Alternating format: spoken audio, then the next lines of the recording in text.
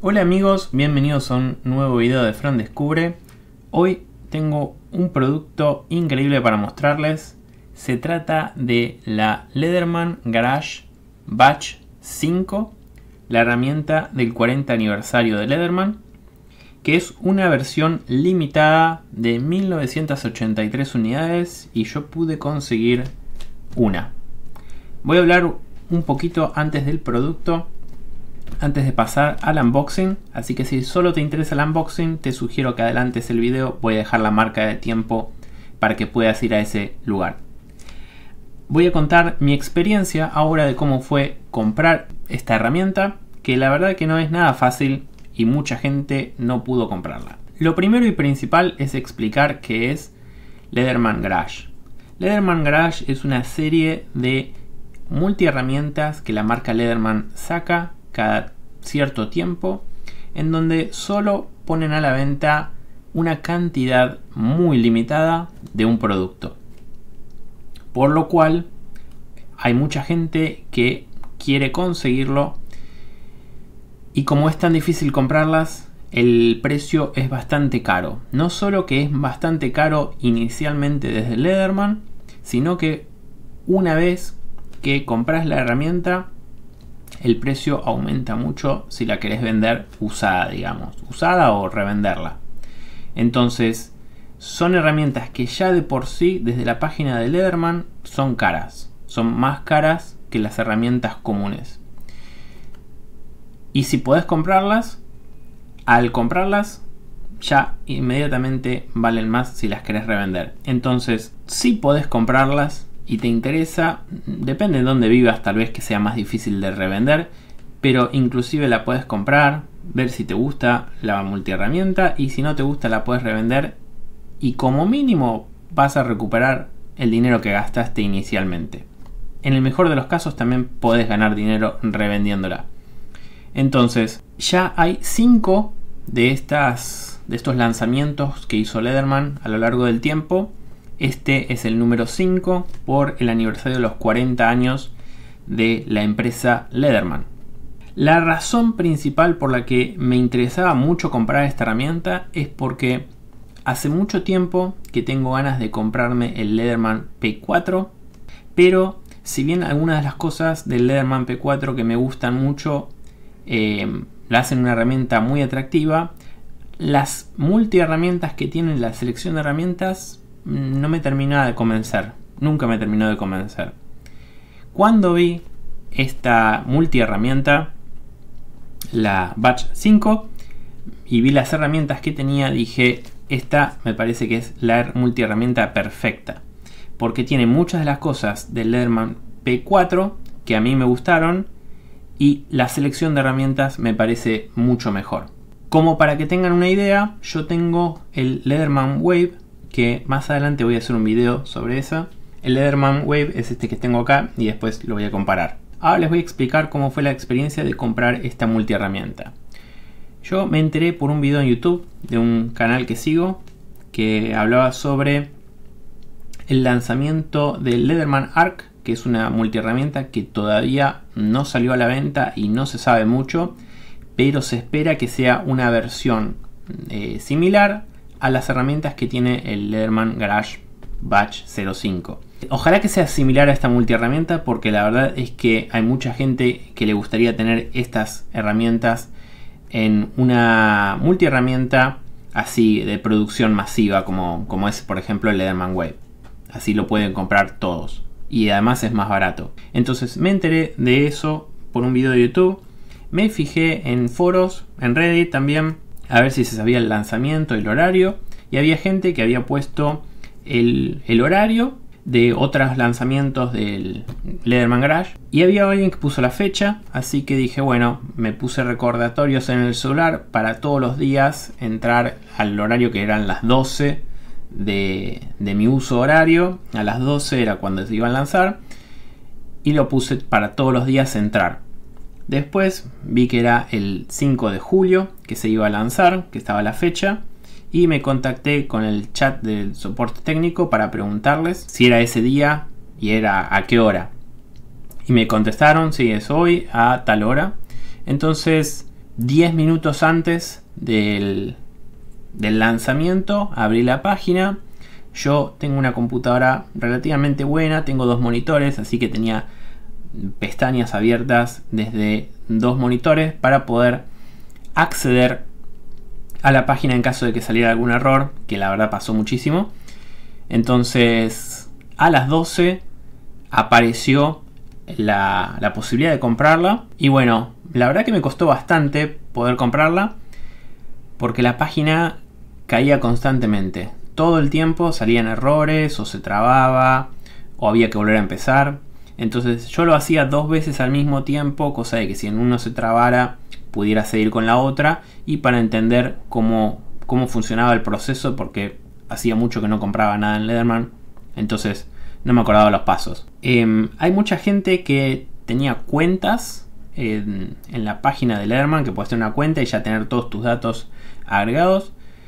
Y en Reddit vi que había muchos que tenían toda la información ya agregada y que no pudieron comprar. Yo la puse toda a mano, la dirección, toda la información mía la puse toda a mano cuando estaba comprando y, no usé mi cuenta y pude comprarla sin problema poniendo toda mi información. Así que no sé si convendrá poner todo a mano o tener una cuenta.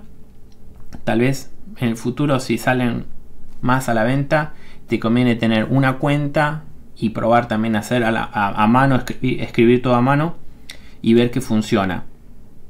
Em, solo se vendía una por persona y una por, digamos, dirección. Entonces estabas limitado a cuántas podías comprar. Y mm, me salieron muchos errores muchas veces en la página web, todo el tiempo. Errores, errores, errores. Hasta que en un momento me figuró como que funcionó el pago y y puse el envío, el envío gratuito. Y después, bueno, fue una medio como una larga espera porque tardaron como más de una semana, no, una semana más o menos en enviarme el, producto. Apenas lo compré me llegó un email como de que la orden había, había sido efectuada y podía entrar en la, en la página web con la información de mi, de mi orden y la podía ver, figuraba como que estaba abierta la orden. En Reddit encontré un montón de gente que había tenido problemas para comprarla, otros que no pudieron, y algunos que pudieron y que tenían estaban en una situación similar a la mía con el tema de la orden que decía abierta. Después había gente que decía también que le habían cancelado la orden una vez hecha, que le habían cancelado. Y, y bueno, fue esperar. Después vi que había gente que le le había llegado el mail de que ya se la estaban mandando y a mí todavía no me había llegado, así que no sabía si me iban a cancelar mi orden o no. Fue todo medio un, despelote cómo funcionó esto.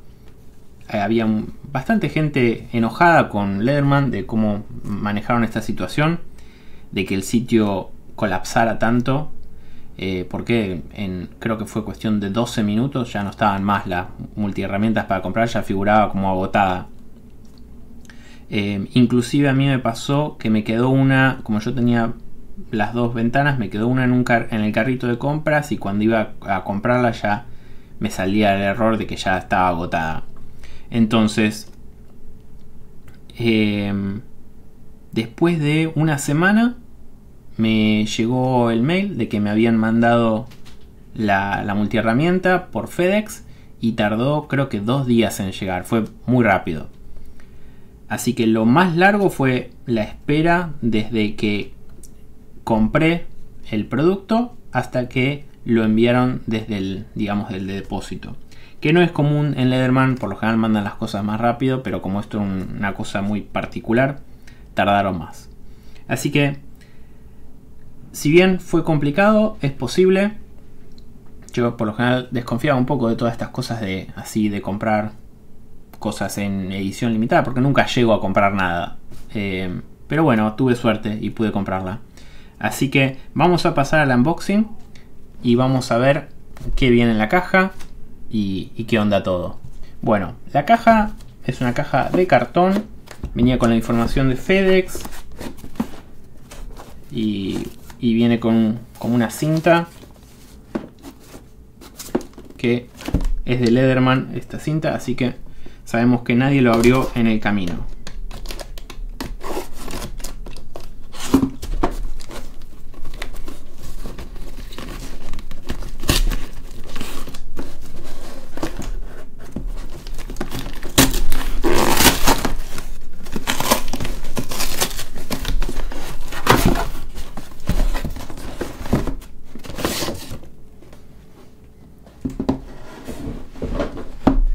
Acá tenemos la caja Leatherman Garage. Es una caja muy sencilla. Que es toda blanca. Y... Sí, muy normal. Nada del otro mundo. Y acá tenemos un texto de Leatherman. Del otro lado nos dice Leatherman Garage. Cómo usarla.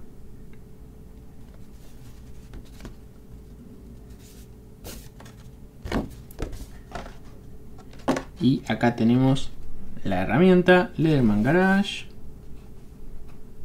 La C, número de serie, aniversario, información de la dirección. Y después tenemos acá. A ver, ¿esto se saca? No. Esto sí.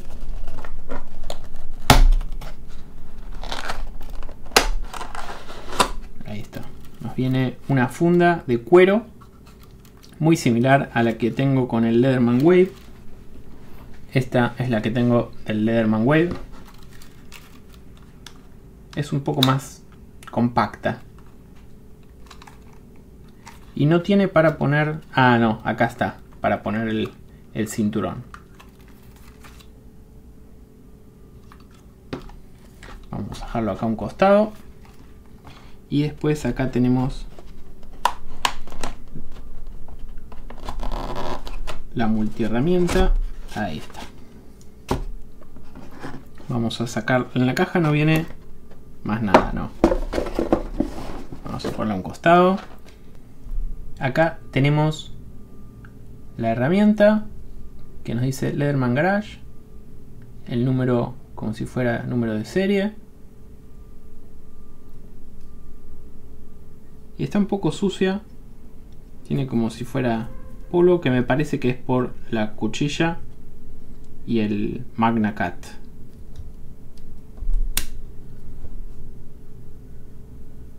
Que tiene como una especie de bañado. Sí, es esto. Calculo que con el tiempo se irá limpiando y quedará mejor.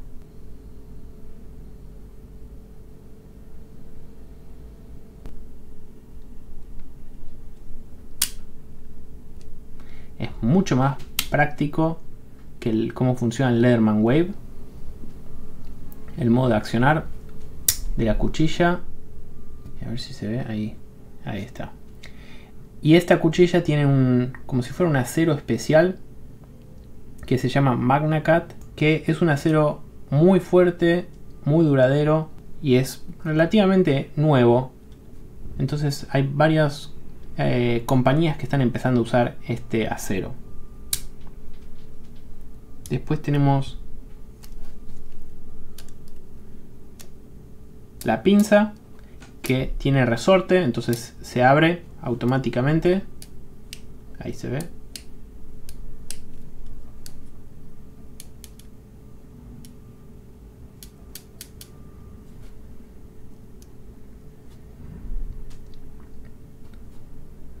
Ahí vemos el tema de la precisión.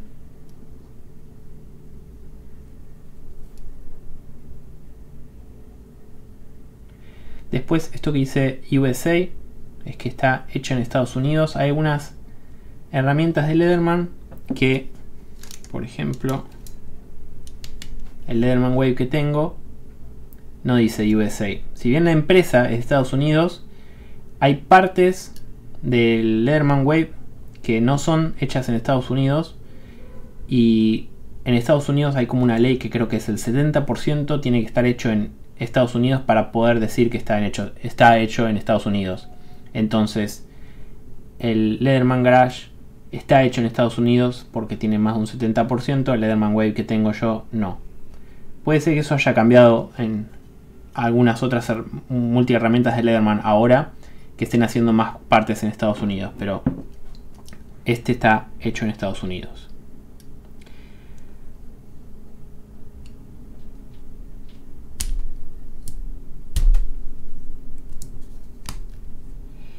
Y una cosa que leí que había gente que decía, y coincido totalmente, es que, y también lo vi en varios videos, es que si bien esto esta herramienta usa el mismo sistema que el, la Leatherman Free, que el P4 o el P2. Es medio complicado, está bastante duro como para abrir con una sola mano, si bien es relativamente posible, no es tan fácil como con el Leatherman Wave. Ahí está. No es muy práctico.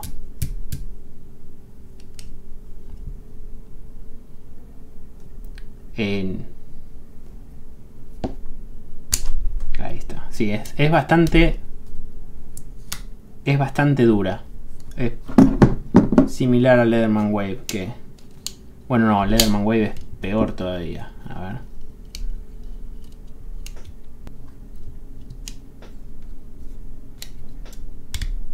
Ahí está. Sí. El Leatherman Wave tampoco es muy fácil. Yo el, el Leatherman Free P4 no lo tengo para compararlo, pero veo videos a veces que lo abren con una sola mano de manera muy fácil. Con este medio que, si bien se puede, no es muy fácil. Pasaron algunos días desde que grabé el video y en estos días encontré en Reddit a alguien que ah, mostraba y explicaba que había aflojado estos tornillos que están acá y hizo que se pudiera Em, usar la herramienta como si fuera el Leatherman Free, que esto es así, está muy flojo, que era lo que decía, que para mí estaba bueno de las herramientas Leatherman Free como el P2 y el P4. Y lo pude hacer yo mismo también. Em, necesité eh, estos tipos de destornilladores, son, se llaman creo que T8, creo que usé T8 o T9, no me acuerdo ahora, uno de cada lado. Y aflojé un poco y fui probando, aflojaba un poquito y me fijaba a ver si ya estaba suave o no. Y lo mismo del otro lado, pero para este lado lo que tuve que hacer es sacar primero estos dos. Creo que usé un T6 o T5. Saqué el clip este y después me quedó espacio para poder aflojar este lado. Y entonces ahora ya la herramienta la puedes usar con una sola mano, que la abrís ahí, lo das vuelta y ahí está. Y para cerrar lo mismo. Destrabas. Y es cuando para destrabar este lado tenés que o apretar acá o hacer fuerte así, pero a veces puedes agarrarte un poco el dedo. Entonces yo prefiero apretar acá y ahí te queda. Así que eso solucionó el problema de que estaba bastante dura la herramienta y, y para mí así quedó mucho mejor. Estaría bueno que venga así desde la fábrica, pero bueno, solucionarlo no es muy complicado. Así que habiendo dicho esto, seguimos con el video y las otras cosas que ya había grabado. Bueno, les voy a mostrar las herramientas que vienen. Tenemos la cuchilla, que eso ya lo vimos. Funciona muy bien. Tenemos acá esto para desplegarlo y después para destrabarlo, porque tiene una traba que no se puede cerrar. Para destrabarlo, apretás acá para el costado y mientras apretas también empujas la cuchilla y se destraba. Después, en el mismo lado que tenemos la cuchilla, poniendo el dedo acá, se deberían de poder abrir. Sí, ahí está. Estas sí, con una sola mano se pueden abrir.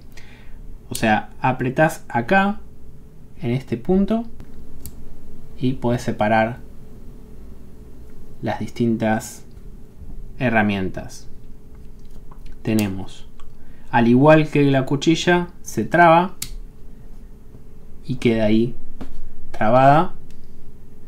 Y para destrabar tenemos que volver a apretar y ahí se destraba.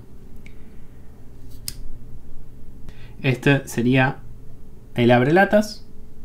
Después tenemos acá esta herramienta que son varias cosas a la vez. Tenemos el abre botellas, que sería esto de acá. Después también es una herramienta para hacer palanca. Y también para abrir paquetes. Porque ahí se ve que tiene como una herramienta de corte. Después tenemos esta herramienta que sería un punzón. Y también lo llaman destornillador pequeño, digamos, con la punta. Sería un destornillador. Todas estas herramientas, al igual que la cuchilla, se pueden trabar y para destrabarlo usamos lo mismo que la cuchilla.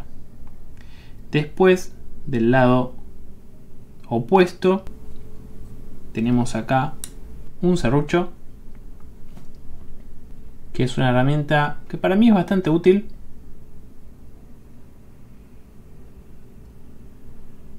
y se destraba de la misma manera. Y del otro lado tenemos una lima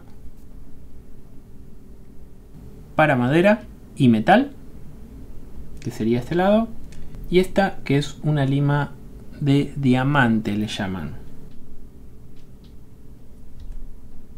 Y después también tenés como una lima acá en el costado después para sacar las herramientas apretamos también de la misma manera y tenemos un destornillador muy muy pequeño que para mí esta es una de las herramientas menos útiles que tiene esta multi herramienta que puede servir para qué sé yo si tienes anteojos tenés que atornillar esos tornillos que son muy chiquitos se puede sacar y dar vuelta. Y de un lado tenemos un destornillador plano y el otro un destornillador Phillips que a ver si puedo si puede enfocar. Es muy chiquito ahí está. Este es el plano. Y este es el Phillips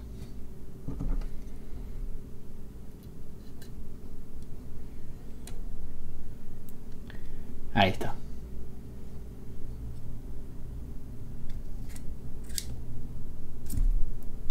y después tenemos esto que vi en Reddit alguien que se quejaba de que tiene mucha mucho juego acá la punta del destornillador y la verdad es que coincido que tiene mucho juego. Este es un destornillador que puedes comprarle distintas puntas en Leatherman lo más común, bueno, sería plano y Philips,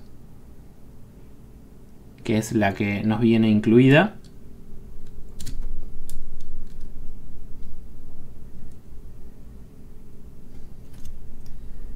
Y es muy similar a lo que tenemos en el Leatherman Wave. Pero en el Leatherman Wave no tiene para nada juego. Ahí, muevo o muy poquito. A ver si lo puedo hacer con las manos fijas. Ahí está.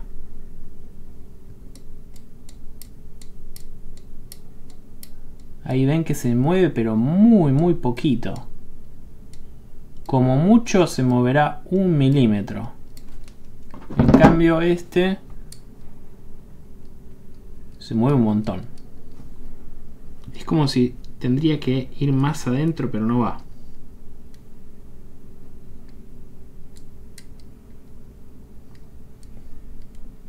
De todas maneras, no creo que esto afecte mucho a la hora de desatornillar, porque el giro es, es como una rotación, entonces no creo que afecte muchísimo, pero bueno, para tener en cuenta.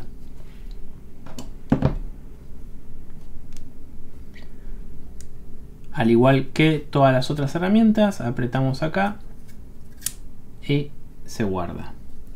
Y después de este lado tenemos las tijeras que para sacarlo tiramos acá. Sí, qué raro tener que tirar en el... Esta parte hace que sea el, el resorte de las tijeras. Me da como sensación de que uno lo puede partir de tirar tanto. Pero bueno, ahí están las tijeras y ahí se destraban.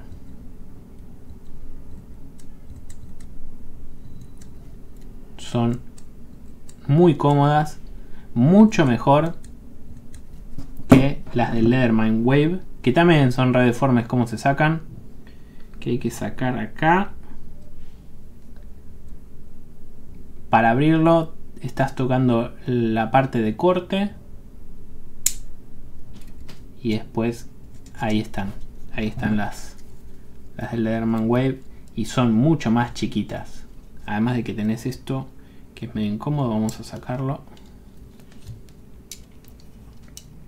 Ahí está. O lo podemos cerrar para que sea lo más parecido. Ahí está. Ahí están las dos. Es una diferencia muy grande.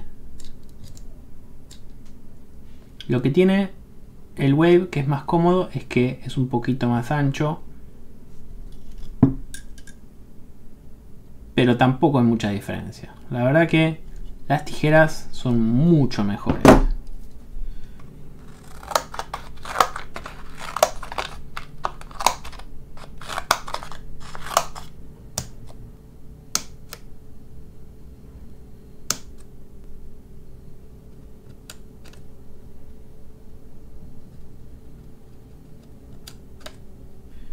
Y ahora a la hora de guardarlas, lo mismo, aprieto, empujo y ahí quedó.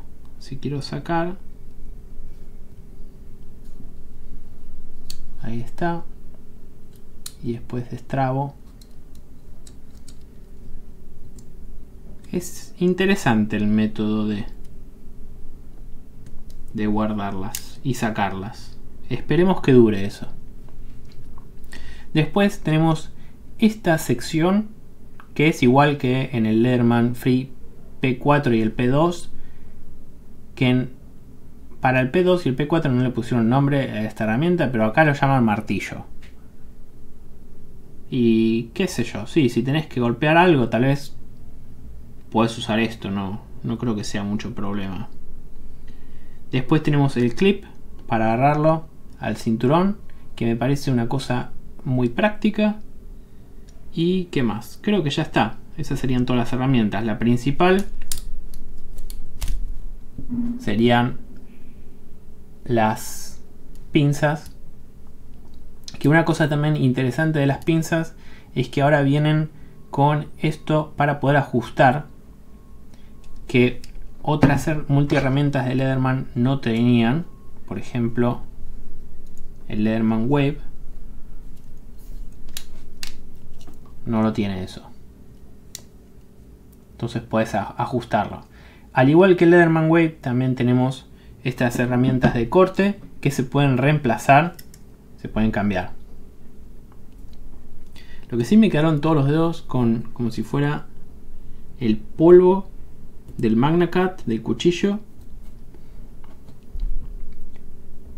Y ahí están. Me gusta mucho esto de que tengan el, resorte y vuelvan. Muy cómodo. Y el cuchillo está genial.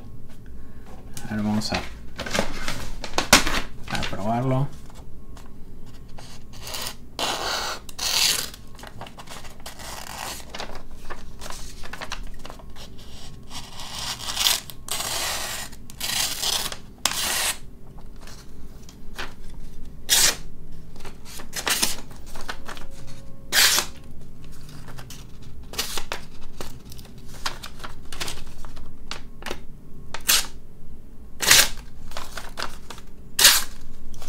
Sí, está muy bueno el cuchillo.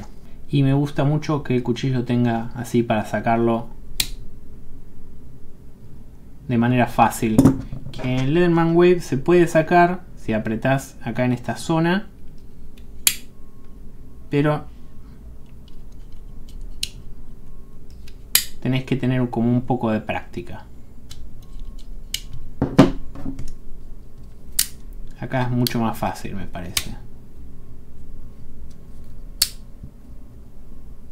Así que la verdad me encanta esta multiherramienta. Lo bueno, bueno, una cosa que no hablé antes es del precio. En Estados Unidos la vendían por 275 dólares estadounidenses Y yo vivo en Canadá y con los impuestos, las aduanas, todas las cosas, me terminó saliendo 400 dólares canadienses, que son como 300 dólares estadounidenses. Entonces, es carísima. La verdad que es muy, muy cara. Lo, lo único que tiene de bueno para mí de comprar esta herramienta es que si yo la quiero vender ahora, la pongo en la caja y la puedo vender, la vi en eBay, por más de mil dólares. Entonces, em, nueva, ¿no? Entonces, si la pongo en la caja así como la agarré, no solo que recupero lo que gasté, sino que gano, gano dinero. Y yo creo que usándola un tiempo, si sos delicado, la puedes revender en un futuro y como mínimo recuperás lo que gastaste para comprarla. Porque hay mucha gente que las colecciona, como son limitadas y hay tan pocas, hay gente que las colecciona, entonces em, están dispuestos a pagar bastante más dinero por una multiherramienta. A ver, justificarse, para mí, no sé si se justifica. Em, o sea, yo no pagaría mil dólares por esto ni a palos. Porque además es una multiherramienta. Entonces es como que mm, si pagas mil dólares por una multiherramienta, después te va a dar lástima usarla. Y la idea de la multiherramienta es usarla. Usarla y cagarla a palos. Entonces, no pagaría mil dólares por esto. Pero el, el, tema es que tiene tan buena, buena selección de herramientas que para mí eh, se justificaba, y también como tengo el canal y puedo hacer una reseña, se justificaba comprarla. Eh, ojalá que el Leatherman Arc, que va a ser la versión nueva que van a sacar, tenga una selección de herramientas lo más similar a esta posible, porque va a ser más barata y va a ser eh, de producción masiva, entonces cualquiera va a poder comprarla. Ojalá que sea muy similar a esta porque la verdad está muy buena. Entonces, la verdad, muy contento con la compra. Carísima, obviamente, pero, pero bueno. Si la quiero vender, recupero el dinero. Y acá tenemos la funda.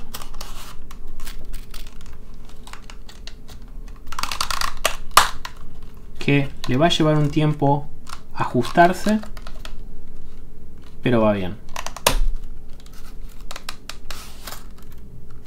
Una última cosa que noté que me parece importante destacar es el baño este que tiene de no sé qué material es para hacerlo blanco, que para mí queda muy bien el blanco con el color bronce este, pero no creo que dure mucho tiempo porque por ejemplo cuando uno usa las pinzas esta parte que toca ahí ya se va saliendo.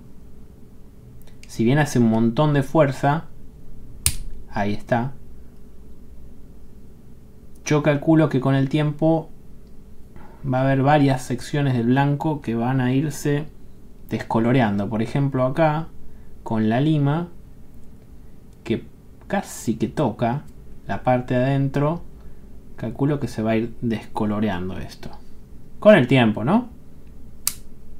Pero no sé cómo se verá en un futuro cuando tenga rayones y esté más gastada. Tal vez se note un poco más. Como para tener en cuenta. Pero bueno, en líneas generales me encanta esta multi herramienta y estoy muy contento con la compra. Más adelante voy a hacer un video del Leatherman Web que tengo ya hace varios años y lo voy a subir al canal. Cuando esté subido voy a poner el video acá para que lo puedan ver. Así que con eso los dejo por hoy. Si te gustó el video, ponle me gusta, suscríbete al canal y nos vemos en el próximo.